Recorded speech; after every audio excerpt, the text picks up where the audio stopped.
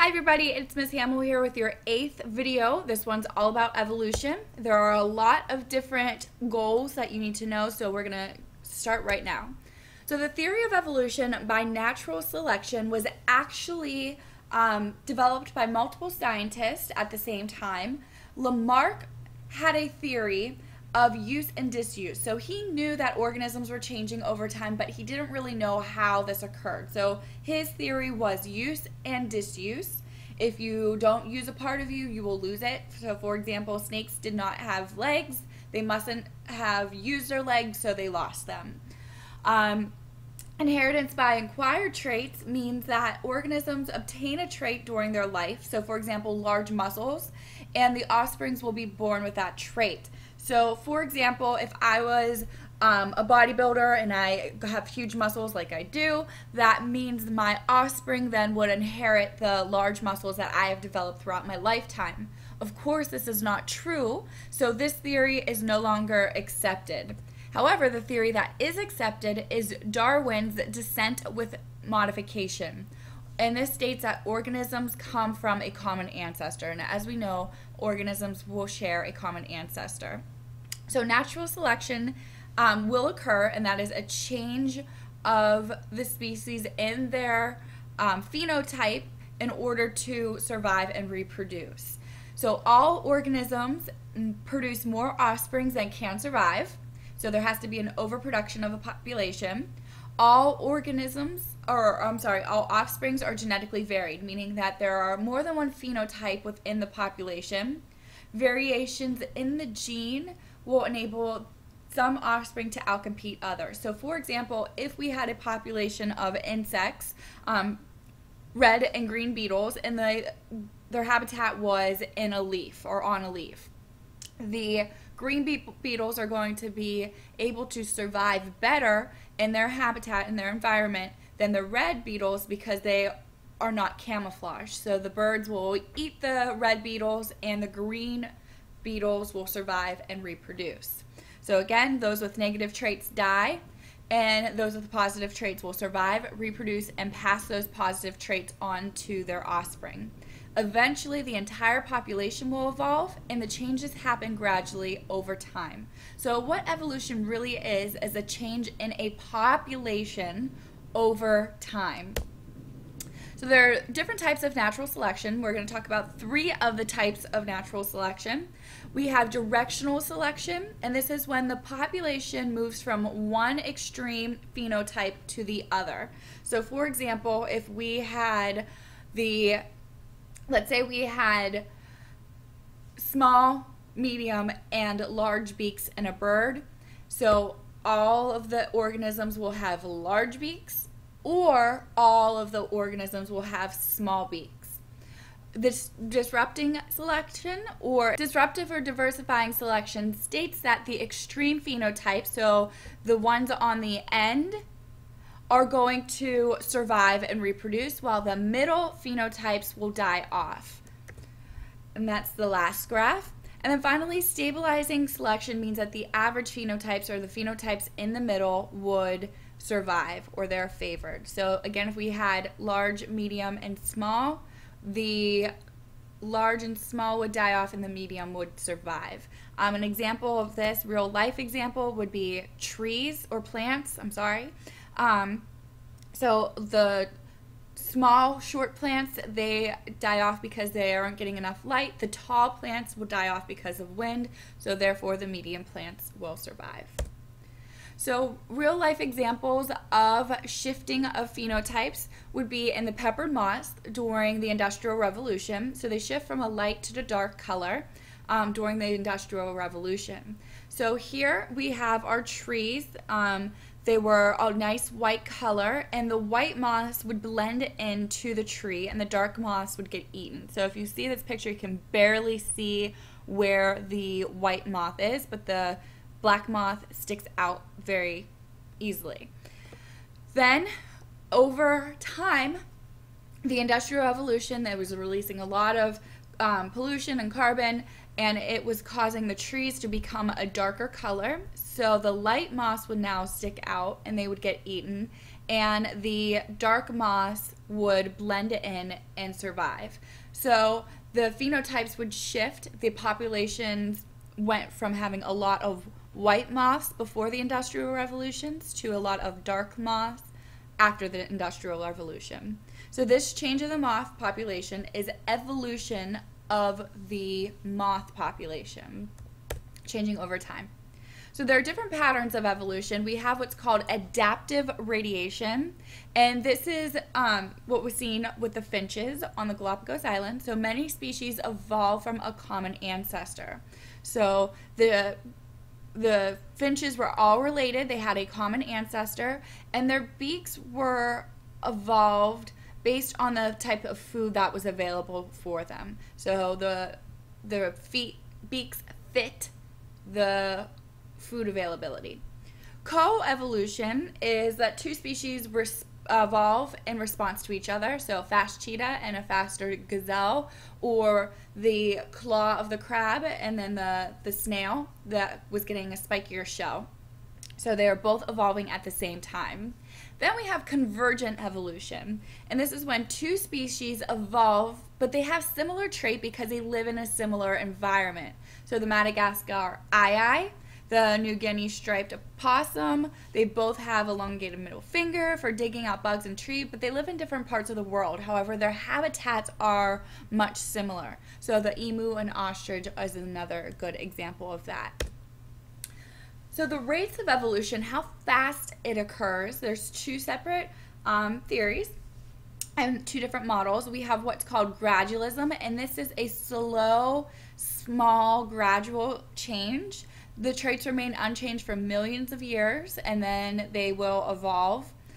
Punctuated equilibrium is abrupt transition, so things change rapidly, um, rapid spurts of genetic change, and cause the divergence of the organisms quite quickly. And you can see this in the fossil record. So, gradualism is slow, punctuated equilibrium is much faster. So, what are some of the current trends in evolution? It is is it still occurring today? And the answer is yes. So, disease resistance and pesticide re- resistance, bacteria are becoming resistant to the antibiotics we use because of the misuse of antibiotics. So, the bacteria are building up resistance.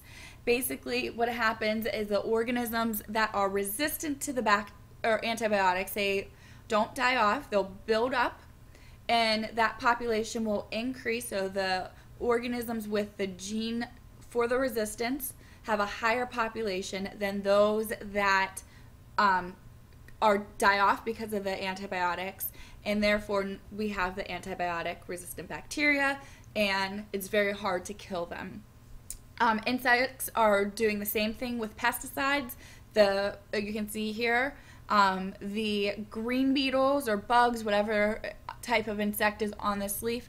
The green insects are killed off by the pesticides. However, the red ones survive. They have a gene that enables them to survive. So after many times or many sprays, they are res- um, pesticide resistant, and the red insect population will increase. So organisms that have more general needs um, typically survive.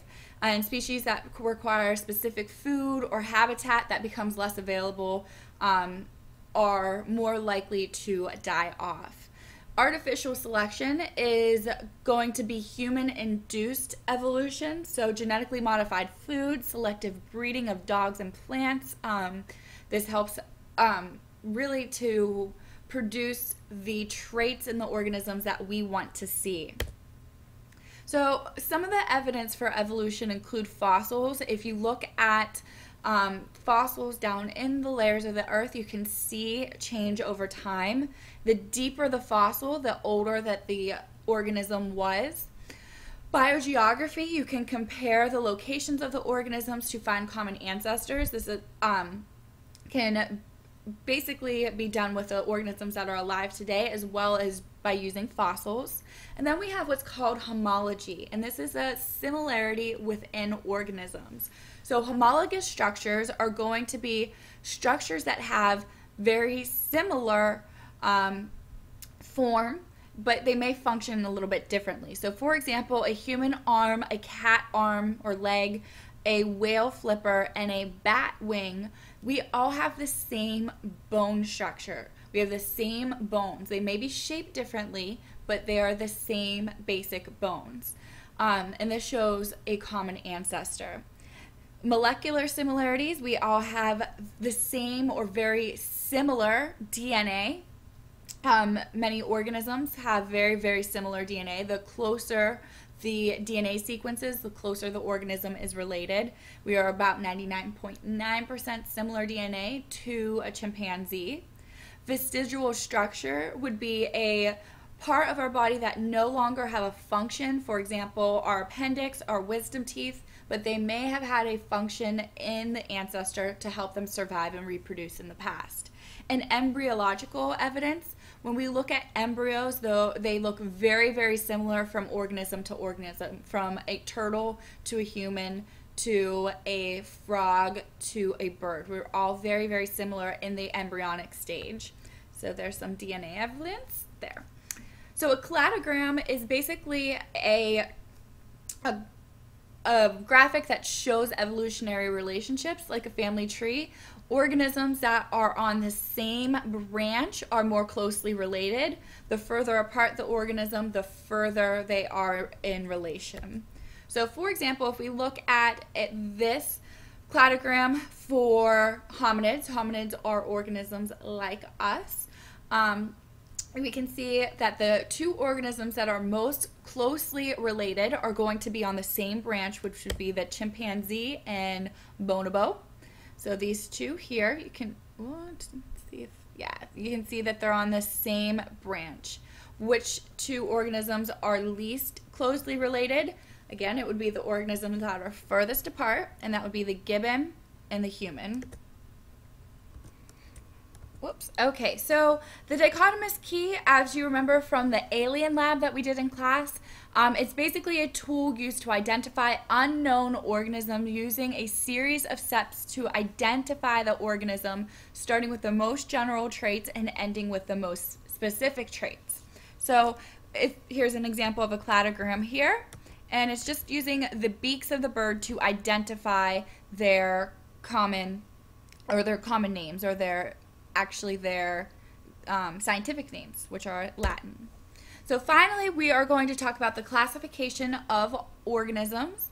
So we have our prokaryotic organisms, which are organisms that have no nuclei, they have no membrane-bound organelles.